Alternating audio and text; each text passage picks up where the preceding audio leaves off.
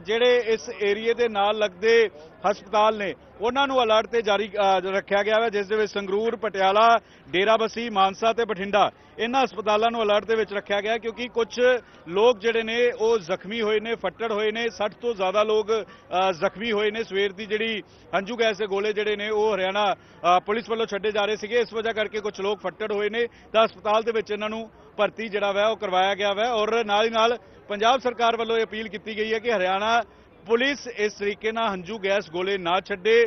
Haryana police ਇਸ ਤਰੀਕੇ ਦਾ ਵਤੀਰਾ ਨਾ ਅਪਣਾਏ। ਇਹ ਅਪੀਲ ਜਿਹੜੀ ਹੈ ਪੰਜਾਬ ਸਰਕਾਰ ਦੇ ਵੱਲੋਂ ਕੀਤੀ ਗਈ। ਲੇਕਿਨ ਫਿਲਹਾਲ ਦੀ ਘੜੀ ਮੈਂ ਦਿਖਾਣਾ ਚਾਹੂੰਗਾ, ਇਸ ਵੇਲੇ ਵੀ ਹੰਝੂ ਗੈਸ ਦੇ ਗੋਲੇ ਜਿਹੜੇ ਨੇ, ਉਹ ਛੱਡੇ ਜਾ ਰਹੇ ਨੇ। ਇਸ ਵੇਲੇ ਵੀ ਹੰਝ- ਜਦੋਂ ਕੁਝ ਲੋਕ ਅੱਗੇ ਵਧਣ ਦੀ ਕੋਸ਼ਿਸ਼ ਕਰ ਰਹੇ ਸੀ, ਤਾਂ ਉਸ ਵੇਲੇ ਹੰਝੂ ਗੈਸ ਦੇ ਗੋਲੇ ਇੱਕ ਵਾਰ ਫਿਰ ਜਿਹੜੇ ਨੇ ਉਹ ਛੱਡੇ ਗਏ ਨੇ। ਹਾਲਾਂਕਿ ਅਫੀਸ਼ੀਅਲ ਤੌਰ ਤੇ ਕਿਸਾਨ ਜਥੇਬੰਦੀਆਂ ਇਸ ਗੱਲ ਦਾ ਜ਼ਿਕਰ ਕਰ ਰਹੀਆਂ ਨੇ ਕਿ ਅਸੀਂ ਹੁਣ ਅੱਗੇ ਨਹੀਂ ਵਧਾਂਗੇ। ਰਾਤ ਦਾ ਸਮਾਂ ਹੈ ਔਰ ਸਵੇਰ ਨੂੰ ਅੱਗੇ ਵਧੇ ਵਧਿਆ ਜਾਏਗਾ। ਲੇਕਿਨ ਇਸ ਵੇਲੇ ਵੀ ਜਿਹੜੇ ਇੱਥੇ ਕੁਝ ਲੋਕ ਨੇ ਉਹਨਾਂ ਦੇ ਨਾਲ ਵੀ ਗੱਲਬਾਤ ਕਰ ਹਾਂ। ਤੁਸੀਂ ਹੰਝੂ ਗੈਸ ਦੇ ਗੋਲੇ ਹੁਣ ਵੀ ਜਿਹੜੇ ਆ ਉਹ ਹਰਿਆਣਾ ਪੁਲਿਸ ਵੱਲੋਂ ਛੱਡੇ ਗਏ ਸੀ ਹਾਂਜੀ ਹਾਂਜੀ।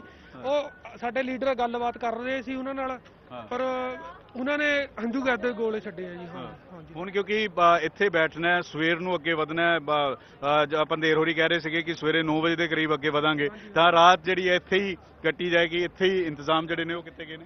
ਹਾਂਜੀ ਹਾਂ ਇੱਥੇ ਬੰਦੇ ਪਿੱਛੇ ਟਰਾਲੀਆਂ 'ਚ ਪਏ ਆ। ਇਹ ਤਾਂ ਇੱਕ ਦੇਖਣ ਆਏ ਸੀ ਇੱਥੇ ਆਰਾਮ ਸੇ ਆਰਾਮ ਨਾਲ ਖੜੇ ਸੀ।